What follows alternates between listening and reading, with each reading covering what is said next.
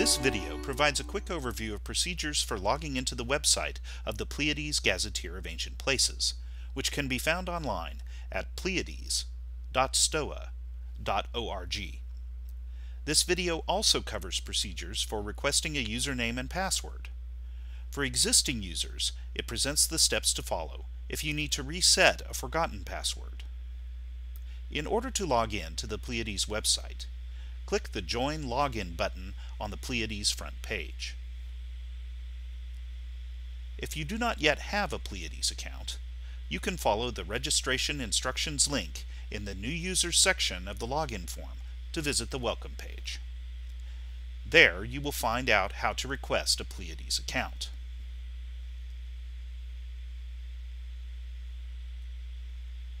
You can also click the Join link at the top of any page to get there. There is also a login link at the top of any page on the site. It takes you directly to the login form. If you have forgotten your password, please follow the Forgot Your Password instructions on the login page.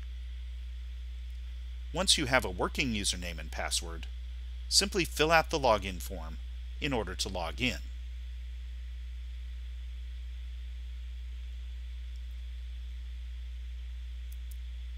Each successful attempt to log in is acknowledged in an information block at the top of the main content portion of the page. You will also notice that your name has appeared among the links near the top right-hand corner of the page.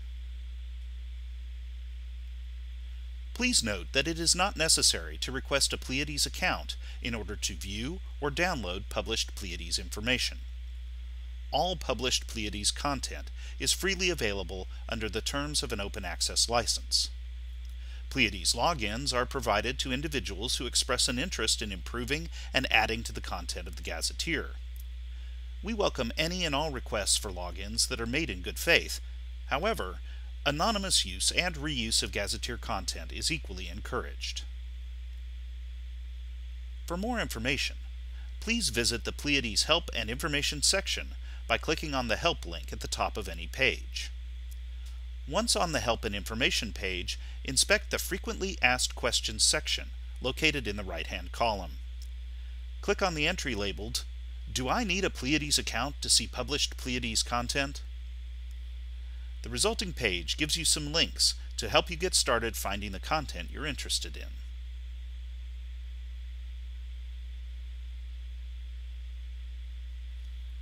This concludes the Pleiades video entitled How to Log in to Pleiades.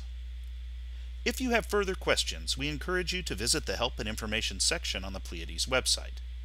There you will find a variety of documents and videos covering other aspects of the Pleiades Gazetteer. Pleiades contributors who already have Pleiades accounts and usernames are encouraged to post questions to the Pleiades community email list. You received information about this list when your account credentials were emailed to you.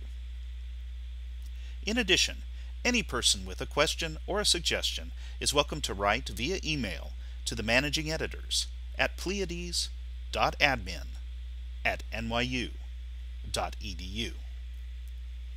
Thank you for your interest in the Pleiades Gazetteer of Ancient Places.